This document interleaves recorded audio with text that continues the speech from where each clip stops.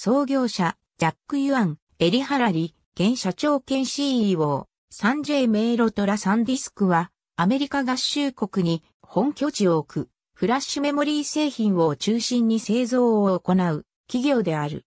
コンパクトフラッシュ、SD カード、メモリースティックプロなど、フラッシュメモリー業界において、数々の特許を生み出した。同社の難度型フラッシュメモリの製造は、東芝と共同で投資を行った三重県四日市市の記憶者四日市工場で行っており、パッケージングを中国、上海の自社工場で行っている。1988年にエリハラリを中心とした不揮発性のメモリを専門とするチームによって設立された。1995年11月にナスダックに上場し、2005年には売上高23億ドルまでに成長した。2015年10月21日、ウエスタンデジタルがサンディスクを190億米ドルで買収すると発表。東芝との提携関係は維持される。2016年5月11日、中華人民共和国商務部による認可手続きを完了したと発表。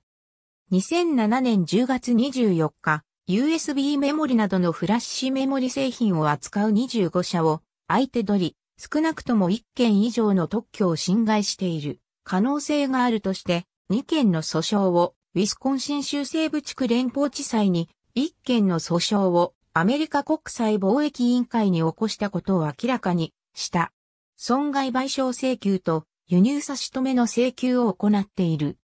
提訴されたのはバッファロー、LG 電子、イメーション、メマレックス、キングストンテクノロジー、トランセンド、フィリップス、コルセア、 PQI、A データなど。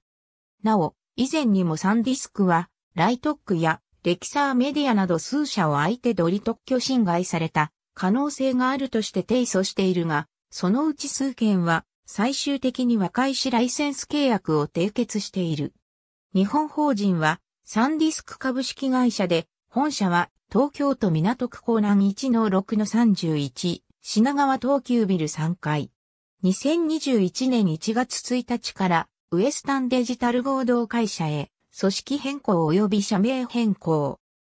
サンディスクウェブサイト。サンディスク2013年4月16日閲覧。失敗しない SD カードの選び方。サンディスク2018年1月30日閲覧。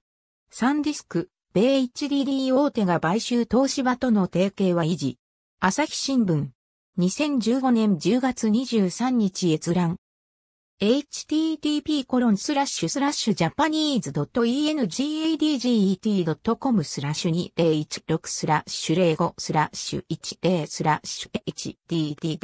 hdd-wd スラッシュウエスタンデジタル新ブランドサンディスクプロフェッショナルを発表。ウエスタンデジタル2021年5月27日、サンディスク株式会社、組織変更を伴うウエスタンデジタル合同会社への称号変更のお知らせ、ウエスタンデジタル2020年11月25日。ありがとうございます。